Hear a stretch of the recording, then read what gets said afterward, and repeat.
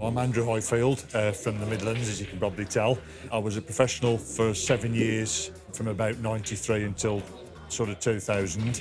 So I started coaching back in 1998, so I've actually been coaching for, well, nearly 20, 24 years now, and I've also been a course tutor and an assessor, working alongside Chris Lovell for the last 12 years on, on all levels of the courses. So the level three, it's um, it's an advanced coaching course. So it's designed for either players who've been on the main tour or uh, a, player who is capable of knocking 75 to 100 breaking. It's it basically it's it's designed for them to coach levels of professional players and learn about biomechanics, sports psychology, nutrition, and it's just a you know a, a, lot more in-depth course and far more advanced than the other two levels. So it's designed for a coach to coach at the highest level. I think, um, like myself, I became a full-time coach in 2009, coaching a lot of junior players, intermediate players, beginner players, and I just feel by having this level three advanced qualification, with what you learn and, and what basically what you've got to put into it and the skills that you're going to have after you come out of it, you're going to obviously pass them on to your players.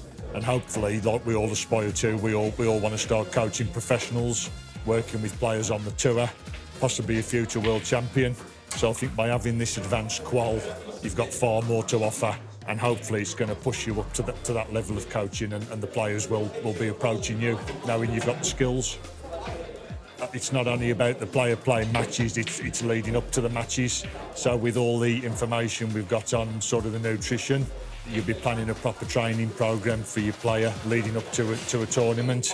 If it's an abroad tournament, you'll be saying about, you know, preparing the proper food, where to get the food from, eating at the right times. If you've got an evening match, you'll be going through the biomechanics, so you'll be teaching a player how to warm up correctly before a match. So warm up exercises, what to do to get them peak performance, and also working with them in, in your lessons at developing the sports psychology side of things, so helping them deal with pressure a lot better.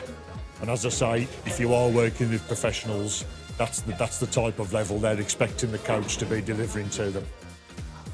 I think if, if you're aspiring to be to be a full-time professional coach, then this really, at the end of the day, this is definitely the qualification you should be aspiring to achieve. I think the level three coaches will have the package to offer. I think the big thing for me is you could be offering life skills to somebody as well, making them more healthy, helping them to get fitter, being happy, happy in, in themselves, and all this will lead to if you're happy off the table, you're gonna your, your performance is going to be far far better.